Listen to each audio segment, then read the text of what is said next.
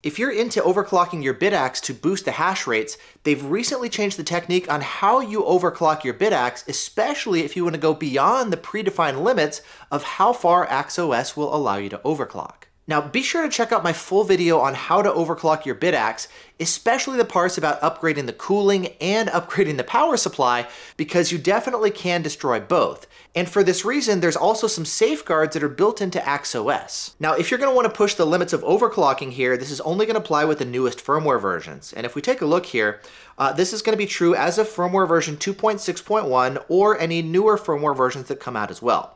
Now, if you take a look, you can see right now I do have this Bitaxe overclocked. It's at 950 and 1300.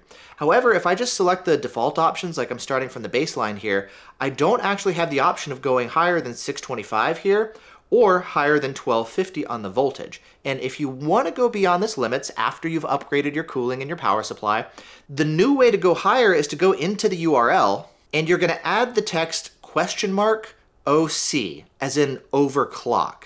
And once you do that, we'll hit go. You can see now it actually gives us a warning about overclocking beyond the design parameters, and we have the ability here to manually go in and type uh, whatever options we want. And so you can kind of manually start to slowly tick this up uh, as you're experimenting and starting to uh, push the limits. Now you'll notice though that there's no longer an option where it shows you what the default settings are or letting you just kind of like conveniently choose different options. You only have the ability here to just manually type in different options as you want.